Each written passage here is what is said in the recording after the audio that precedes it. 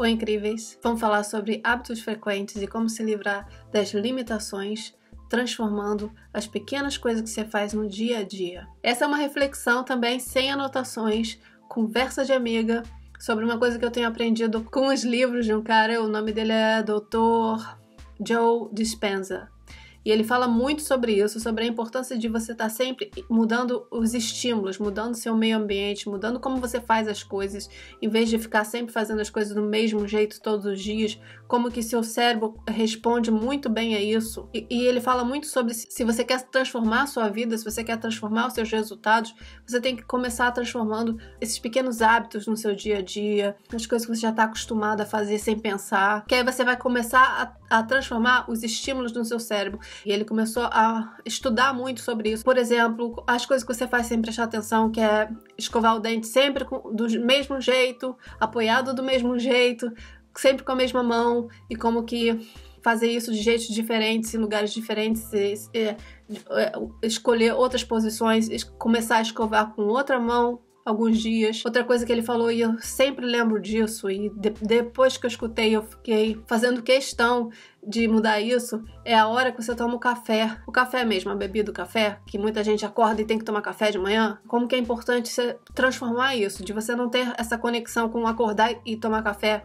é, direto, de tomar em horários diferentes, assim, que muita gente toma sempre no mesmo horário. Nem precisa ser café, pode ser o seu chá de manhã, seu, a, a, bebida que você toma de manhã, de você fazer questão de não tomar sempre no mesmo horário, de você acordar por você e aí dar um tempo e depois tomar em, em horários diferentes todos os dias. Outra coisa que você pode estar mudando é o, o lado que você é, dorme na cama, tá vendo? Essas coisas que são simples, que a gente muitas vezes nem presta atenção de como que são que é importante, porque quando você dorme em lugar diferente, você sabe que você tá que o seu corpo responde a isso diferente você tem sonhos diferentes, você acorda de um jeito diferente, você vai dormir de um jeito diferente.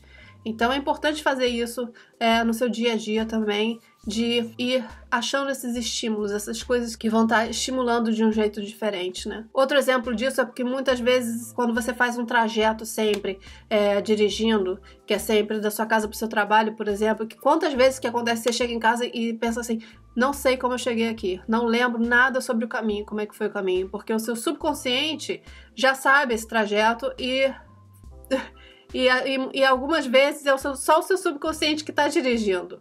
Automaticamente, em quantas dessas tarefas automáticas você não faz por dia? Porque você já faz sempre do mesmo jeito todos os dias.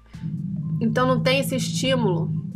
E por não ter esse, esse estímulo, você acaba limitando muita coisa. Não sei se tá dando pra ouvir os meus vizinhos, mas eu vou continuar mesmo assim. Quando você faz as coisas muito automaticamente, todos os dias, muito do mesmo jeito, você acaba que não tem muito estímulo acontecendo, não tem muitas. Uh né? Você não precisa de acontecer muita coisa, é tudo muito no automático. Imagina se você tem vários dias desses que é muita coisa no automático, muita coisa que você faz do mesmo jeito todos os dias, certinho.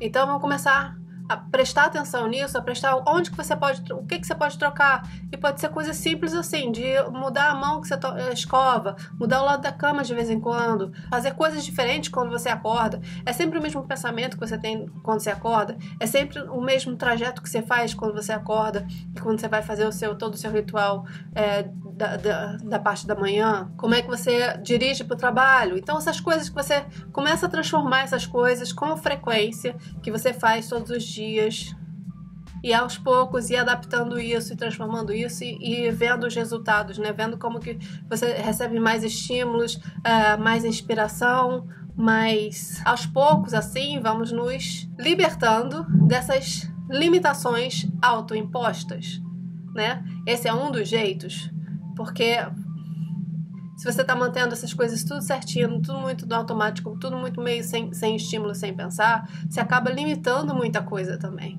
Porque não precisa de muito estímulo, não precisa acontecer muito para manter essas coisas é, do mesmo jeito, né? Então fica aí a reflexão, trocando ideias.